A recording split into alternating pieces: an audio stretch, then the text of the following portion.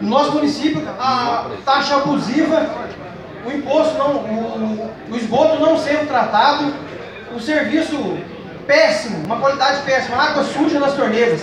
E as pessoas pagando por uma coisa que não chega na, nas casas. Portanto, é, eu agradeço o convite de estar participando aqui e dizer para vocês o seguinte, vamos continuar firme. A nossa Câmara criou uma comissão para é, estudar os problemas que a Copasa vem causando no nosso município. Com o exemplo que foi feito em Pouso Alegre e outros municípios aqui. A ideia é essa, partir para o embate em Copasa. O município nosso não vai deixar barato. Obrigado.